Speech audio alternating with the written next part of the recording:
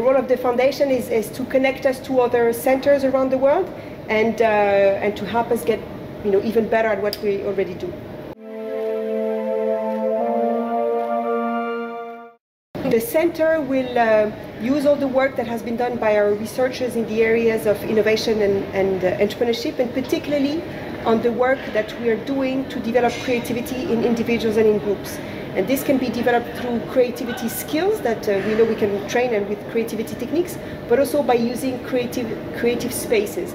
We now know that uh, some spaces are more prone to develop creativity and we expect that we can develop some of those spaces at Católica so that more creative ideas, more innovation and more uh, startup ideas can emerge from our work here from either us, uh, um, academics, or students.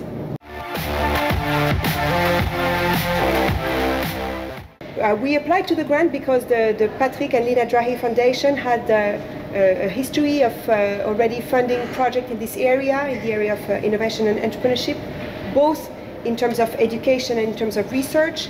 There's two particular pr uh, projects that are very interesting to us. One is a, an accelerator at École Polytechnique in Paris, and the other one is an, acceler an accelerator in Tel Aviv.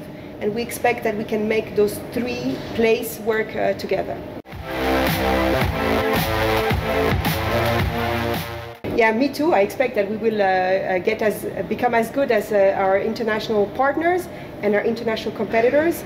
Uh, the beauty is that we're located in Europe, and Europe has a, a very clear differentiator in terms of uh, strong history of creativity and uh, creative industries. And I expect that if we bring the best from the technology of Israel and the United States and the best of creativity from Europe, we can really become a reference for the world.